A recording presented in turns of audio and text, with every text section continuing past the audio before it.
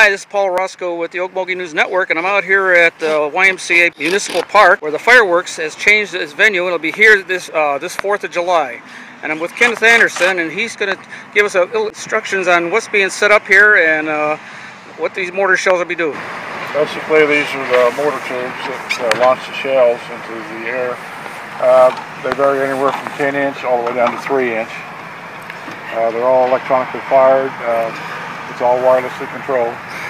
Uh, it's, it's, scripted to a script with uh, music. There's uh, seven songs this year, and we do a little break between each one of them and announce the song, what we're doing. so, so the people will come out here and uh, find uh, places at the parking lot here at the YMCA, and they can bring their lawn chairs and refreshments for themselves. And uh, what time does the uh, fireworks start? The fireworks will start at 9.30. Uh, the event over here starts at 7. Uh, free hot dogs at 7.30 until they're gone. Uh, they've got several venues for kids this year. They got a petting zoo and a and a water slide, a bouncy house, and some other stuff. All right, very uh, good. Away some different things the city is.